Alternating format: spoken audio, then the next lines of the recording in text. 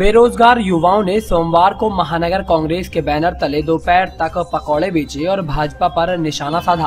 कांग्रेस नेता महानगर अध्यक्ष अनुभव मेहरोत्रा के नेतृत्व में सोमवार सुबह गुरहट्टी चौराहे पर एकत्रित हुए। यहाँ पर बेरोजगारी के विरोध में पकौड़े बनाकर बेचे गए। अनुभव मेहरोत्रा ने कहा कि भाजपा ने चुनाव में आने के लिए युवाओं को हर हाल में नौकरी देने का वादा किया था। वो युवाओं को नौकरी तो नहीं दे पाए, पर अब उनका मज़ाक बनाना शुरू कर दिया है। कांग्रेस युवाओं का अपमान सहन नहीं करेगी। कांग्रेस नेताओं ने पकौड़े बनाकर आवाज़ लगा लगा कर बेचने शुरू कर दिए।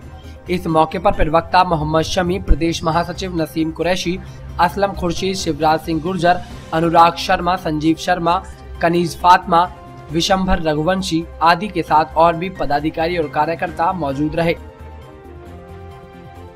बेरोजगार ग्रेजुएट पकौड़ा योजना का यहाँ का आयोजन चला है पर जो हमारे माननीय प्रधानमंत्री जी ने योजना युवाओं को जो रोज़गार देने की बात कही थी जो उन्होंने उससे पहले बात की हुए वादे को जो निभाया पकौड़े के तहत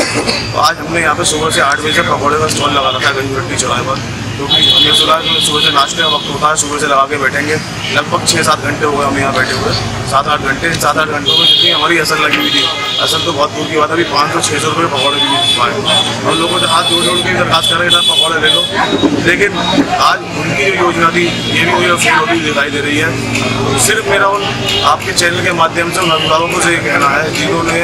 इतने पैसे लगाए अपने बच्चों को लोन लेके बैंक से कार लेके कर्जा लेके अपने बच्चों को ग्रेजुएट पढ़ाया। तो सब जानते हैं कि एक ग्रेजुएशन कराने में या बीटेक कराने में एमटेक कराने में कोई भी कराने में लाखों रुपये फ़ीस जाती है। लाखों रुपए फ़ीस में माँ बाप कैसे कर्जा लेके पढ़ाते हैं और हमारे माननीय प्रधानमंत्री जी, उन जो माँ बाप की ख्वाहिश होती है, जो मंशा होती है कि मेरा बेटा ऊँचा तो अधिकारी बने, पढ़ लिख के इंजीनियर बने, उन सब पे पानी फेरते उन्होंने सबके हाथ कॉलेज की योजना पकड़ा